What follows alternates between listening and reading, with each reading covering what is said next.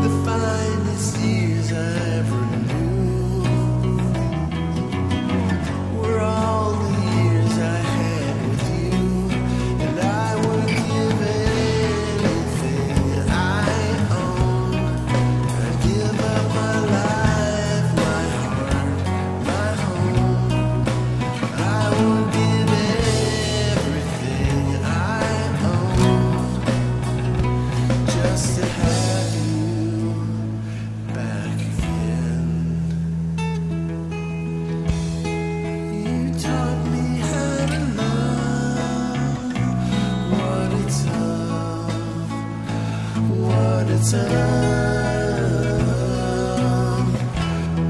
You never said too much, but still you.